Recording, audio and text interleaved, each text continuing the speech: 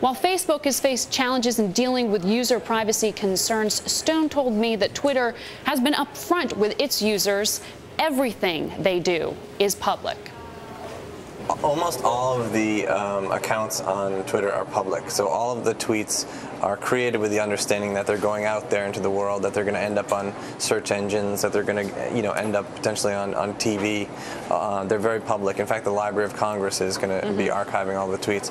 So uh, there's a lot of stuff uh, that we can do with these tweets. We can we can look through them to see what the uh, most popular words or phrases are this minute in San Francisco or in New York City or in Sao Paulo. We can see what's on people's minds in those areas. We can also syndicate out all this data uh, so that we can provide it to companies like Google and Bing, who then create their own user experiences on all these tweets to help people, uh, you know, discover more relevant information. With that, it, the extension would seem to be searchability. Yeah. Or a Google.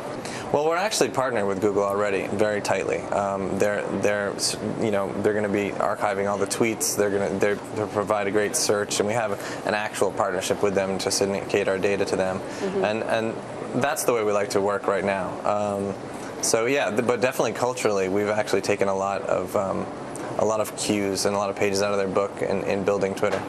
And we've been focusing these three years on on growing the service, on making it reliable, and on really and making it valuable.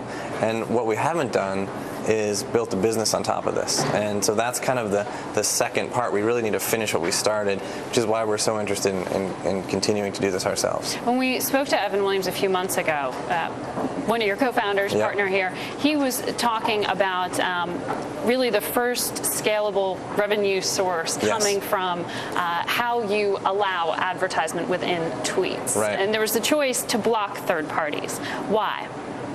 Well, the promoted tweets platform is probably what he was talking about, yes. and that's the idea that um, any any any company can get a tweet uh, seen by a lot more users if they use our promoted tweets platform.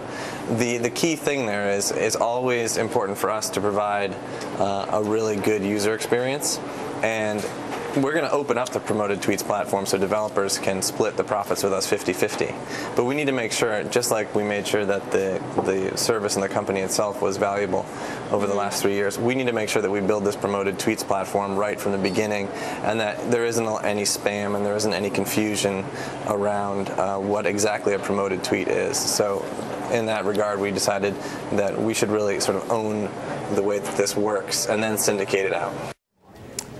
I spoke to Biz at the World Innovation Forum here in Manhattan, and he told me that the amazing growth trajectory of a young company like Twitter can be scary.